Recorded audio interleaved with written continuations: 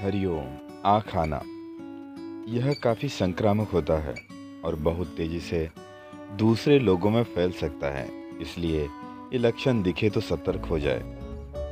Bell के पत्ते पीसकर आँखों पर लेप करने से एवं पत्तों का रस आँखों में डालने से आँखें ठीक हो जाती है।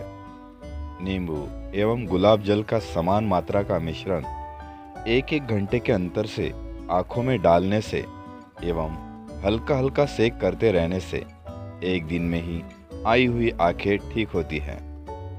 हरिओम।